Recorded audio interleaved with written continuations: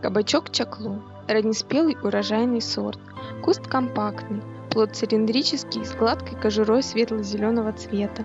Ценный диетический продукт. Плоды собирают недозрелыми, длиной 12-20 см, для широкого использования в консервной промышленности и домашней кулинарии. Теплая и светлолюбивая культура.